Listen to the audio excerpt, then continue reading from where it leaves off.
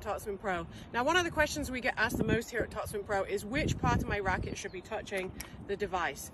Now ultimately the only part of your racket that should be making contact is the strings with the ball.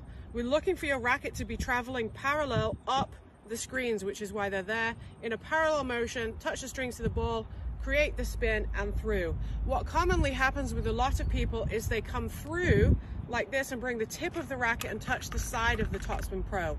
Ultimately, obviously, if you're swinging fast, that's going to cause damage to your racket um, and also the Topspin Pro. So you want to really get the hang of that action in a slow fashion to begin with until it becomes, you know, really ingrained there with the muscle memory, and then you can start to really increase the pace of that swing.